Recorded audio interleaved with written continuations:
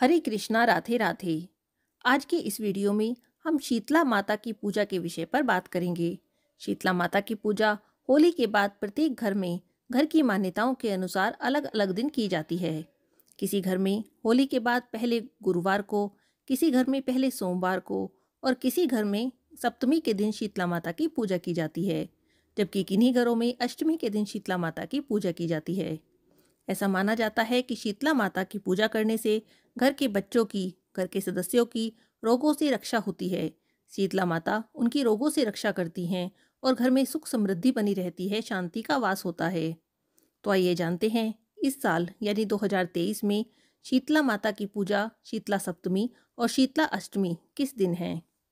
शीतला सप्तमी इस बार 14 मार्च यानी मंगलवार के दिन है।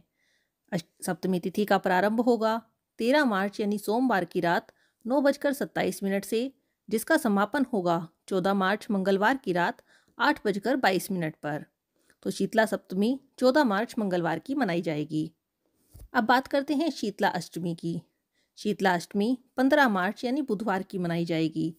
अष्टमी तिथि का प्रारंभ होगा चौदह मार्च मंगलवार की रात आठ बजकर बाईस मिनट से, जिसका समापन होगा पंद्रह मार्च बुधवार की शाम छः बजकर पैंतालीस मिनट पर। तो शीतला अष्टमी पंद्रह मार्च यानी बुधवार की मनाई जाएगी। शीतला माता की पूजा में माता को ठंडे बासी भोजन का भोग लगाया जाता है।